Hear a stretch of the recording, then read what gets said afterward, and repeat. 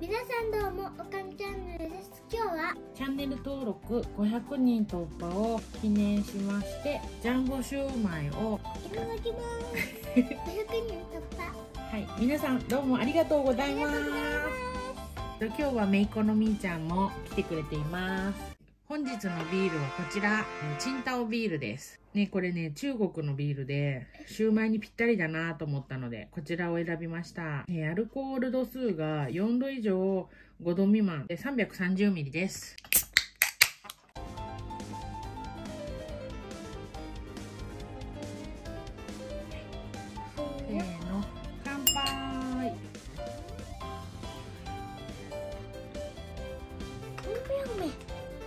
崎陽軒のおうちでジャンボシューマイミニをいただきます。シューマイ入刀おい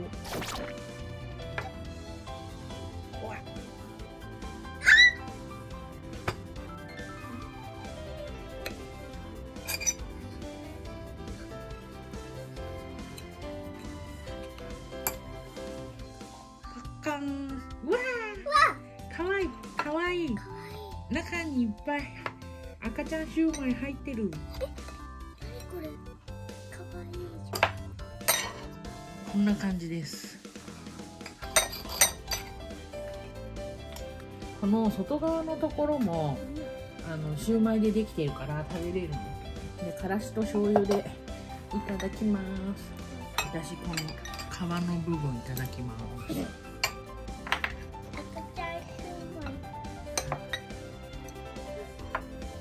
うん。うま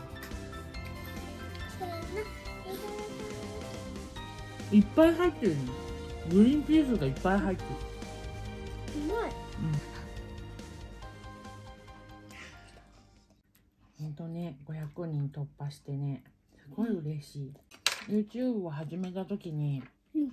まず一番最初にチャンネル登録者500人っていう目標を立てて1月から毎日投稿してて11月の2日に500人を突破しました今日は金曜日だねうん。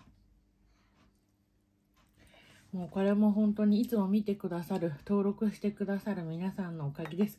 本当に、本当にありがとうございます。はいそれで次の目標は、1000人。1000人を目指して、引き続き頑張っていきたいと思いますので、皆さんこれからもどうぞよろしくお願いいたします。はいよろしくお願いします。ちびっこシューマイも食べてみる。うまいよ。なんかお肉食べてるって感じがすごいね。ね。本日のおつまみを紹介させていただきます。鶏もも肉の塩麹味噌漬けです。エビフライとあとタルタルソースですね。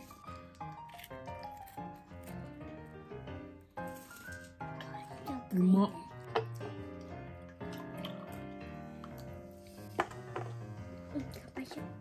乾杯。塩麹チキン食べる。いただきます。美味しい。柔らかくなってる。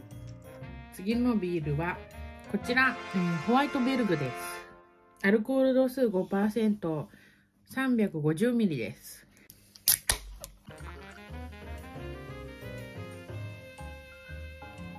乾杯。うんうん。ハーブティーみたい。いい香りする。うん。シューマイは解体しました。ホワイトベルグはビール大国ベルギーのホワイトビールに学んだオレンジビールとコリアンダーシードが奏でるフルーティーな味わい。系統的にはヒューガルデンの系統かなって。うこれおすすめ？うんこれしかもそんなに高くない。ヒューガルデンの半分ぐらいの値段でした。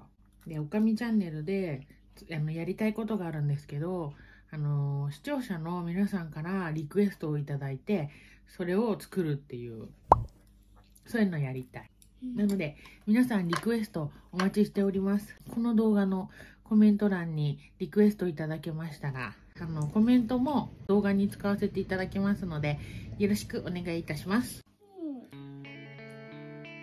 今日は500人突破してみ皆さん見てくれてありがとうございます。チャンネル登録グッドボタンベルのボタンお願いします。はい。あとコメントもお願いしますはいそれじゃあまたねバイバーイバイバーイ